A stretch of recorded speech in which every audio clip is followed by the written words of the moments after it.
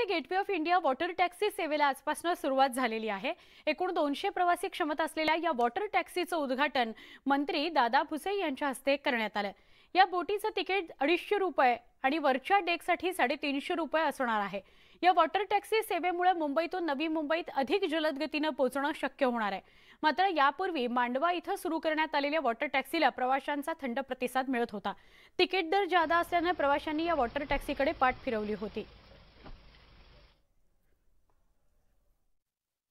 Sir प्रवासी बोटीचं उद्घाटन आपल्या हस्ते होते. एकंदरीत पहिली प्रतिक्रिया काय? मला वाटतं की नवी मुंबई बेलापूरच्या प्रवाशांना जे कुलाबा परिसरामध्ये नोकरी व्यवसाय निमित्ताने जातात ही एक चांगली सुविधा या ठिकाणी उपलब्ध होते आहे. आमच्या सर्व अधिकाऱ्यांनी यासाठी विशेष प्रयत्न केले. केंद्र सरकारने पण याला आम्हाला मदत केली आणि हा एक नवीन प्रकल्प सुरू होतो आहे आत्ताच्या घडीला प्रायोगिक तत्वावर कसा प्रतिसाद मिळतो आणि जे प्रवासी आहेत त्यांच्या वेळेप्रमाणे कसे ॲडजस्टमेंट आपल्याला करता येते आणि भविष्यामध्ये जे काही अनुभव येतील त्यानुसार आणखी फेऱ्या वाढवल्या जातील. एकंदरीत प्रवासांची सिक्युरिटी काय असणार आहे? किती वेळामध्ये होणार आहे? आणि ही प्रायोगिक तत्वावर जी सुरू करण्यात आलेली प्रवासी पुढे जाऊन काय होणार?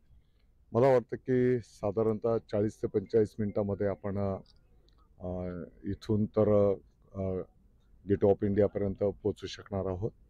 त्याच्यामध्ये सर्व सिक्युरिटीचा व्यवस्था करण्यात आलेली आहे. यापूर्वी पण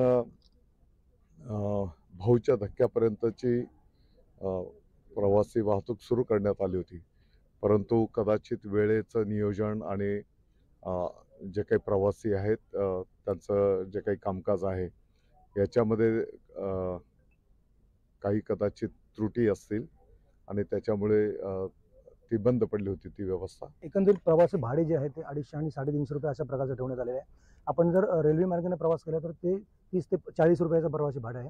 काही काळानं ज्या प्रवासी बोटीला जर चांगला प्रतिसाद मिळाला तर हे भाडं कमी होण्याची शक्यता आहे?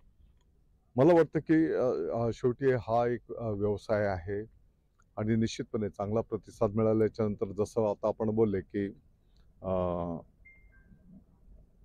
रेल्वेच्या वाहतुकीच्या माध्यमातून जसं आपला मासिक पास वगैरे असतो अशा विषयांवर त्याला जाता येईल. Pramod Patil news eighteen Lokmat Navi Mumbai.